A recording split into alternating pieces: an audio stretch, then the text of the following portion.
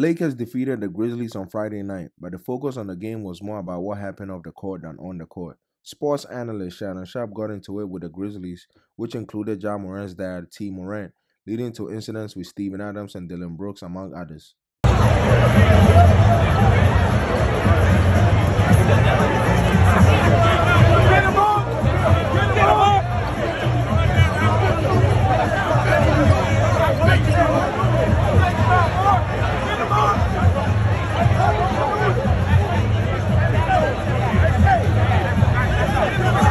Shannon Sharpe told ESPN's Dave McMenamin that he was heckling Dillon Brooks, saying he couldn't guard LeBron James, and Dillon Brooks wasn't too happy about that. After the game, Dillon Brooks called Shannon Sharpe a regular pedestrian, and he argued that he shouldn't be allowed back at the game after the incident. You're too small to guard LeBron when you swore back at him. Is that what happened? What No, I was your told him he missed the shot. That's all. You think it's appropriate for a fan to kind of go back and forth with you guys like that? A regular pedestrian like him, no. He shouldn't have never came back in the game.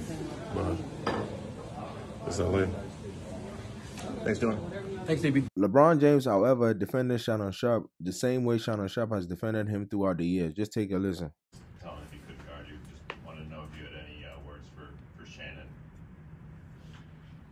I mean, I ride with Shannon 365 days, 66 on a leap year, 24 7. So that's my guy. So I always got his back. He got mine. So um, can talk with the best of them for sure.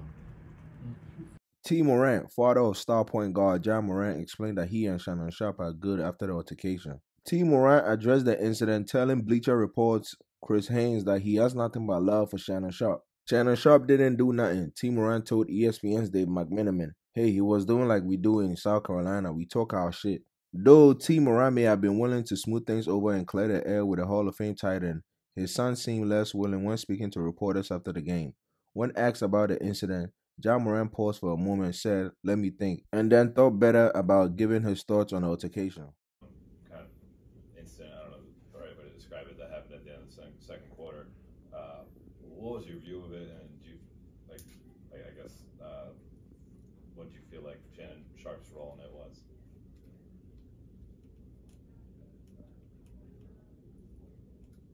Let me think. Nah. I ain't gonna address that. I'm gonna let him live there. Anybody else? Dillon, Dillon said he thought that Shannon Sharpe should have been removed from the arena. I ain't gonna address that.